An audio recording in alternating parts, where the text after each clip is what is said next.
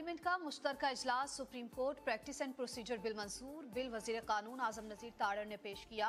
सदर ममलकत पर तनकीद। कहा, आरिफ अलवी ने जो सवाल उठाए, वो नामुनासिब हैं। सदर अपनी आईनी जिम्मेदारियाँ पूरी करें। फारूक एच नाइक बोले, बिल में अपील का हक दिया गया है। एक शख्स के फैसलों का खात्मा होगा।